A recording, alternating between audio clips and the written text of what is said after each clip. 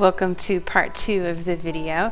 I've let the background area dry completely and I'm going to start on the middle um, hillside of grapes.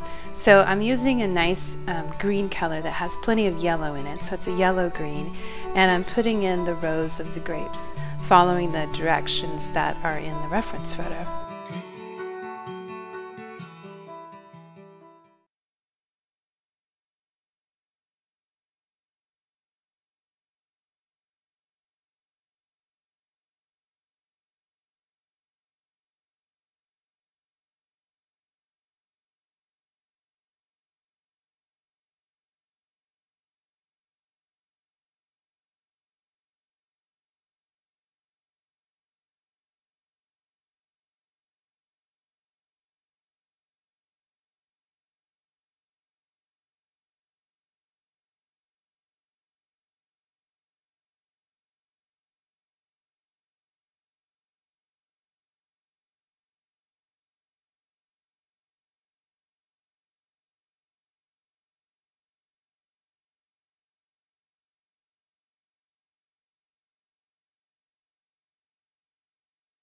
So once I'm happy with the basic shapes of these rows, now I can start putting in some shadow colors.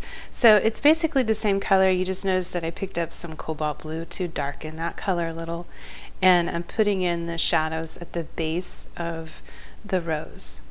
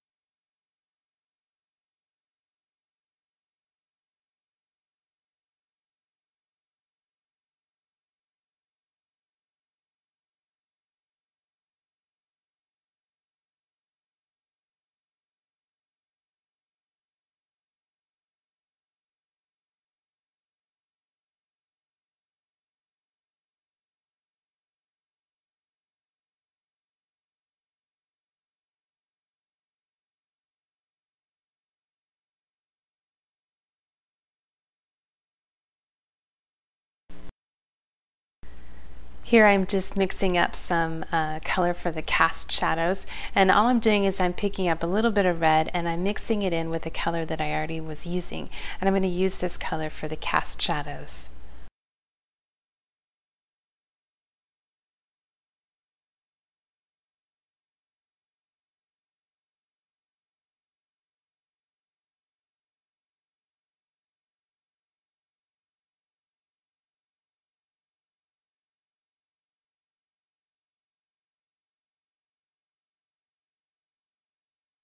So now I can move on to the grapes that are in the foreground.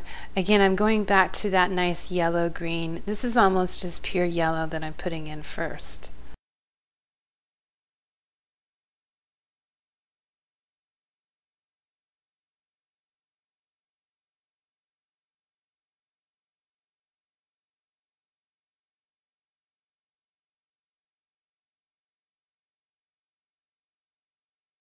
And now I'm mixing up a darker green using a cerulean blue, cobalt blue, and yellow ochre.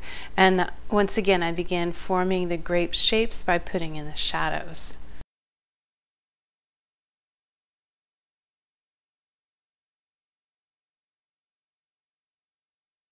Now because that yellow paint is still wet, these two colors are going to merge together and it's just going to be a real soft blend between the more yellow green and the more blue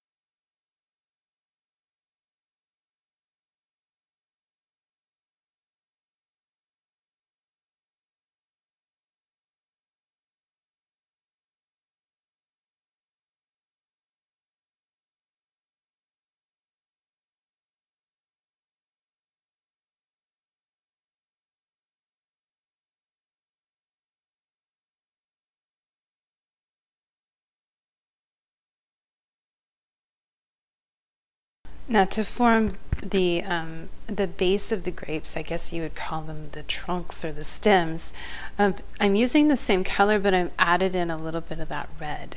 The same shadow color that I used up above, only this time it's a little darker.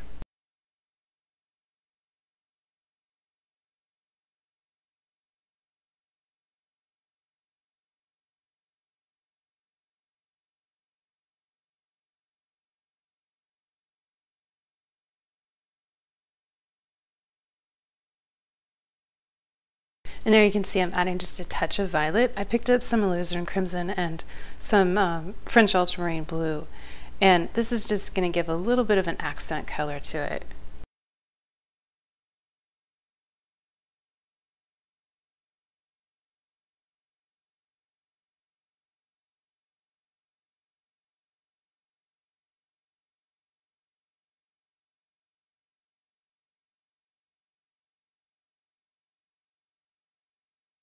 Now I've picked up my smaller brush and I'm putting in the final details of those, uh, the trunks or the, the stems of the grapes.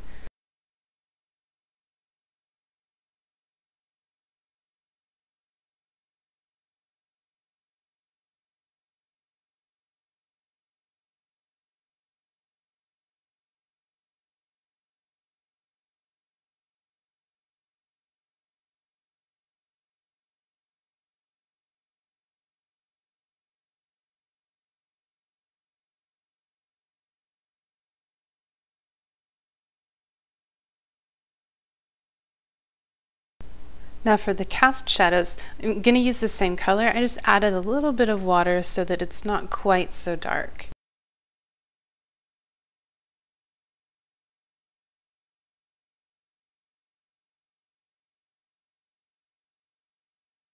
And you can see by adding those cast shadows that the grapes really start to take form.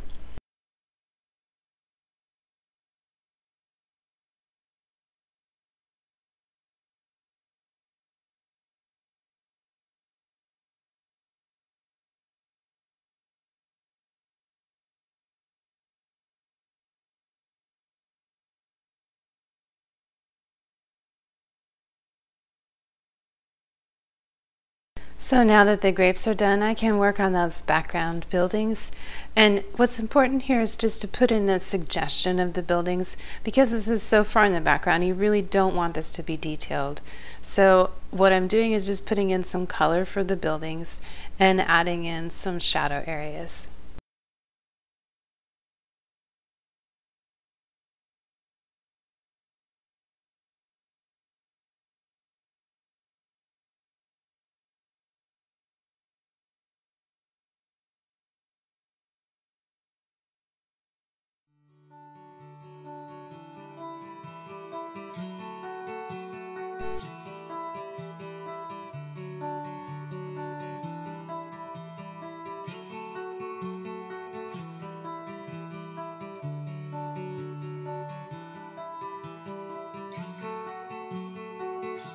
Now the final step of the painting is just to add in a little bit of color to that rock where it has the, the, large white areas. I don't want it to be completely white, I want to have some color on there. And with that, the painting is just about finished. There you have it, the final painting. Hey, thanks a lot for joining me and I hope that you enjoyed this video.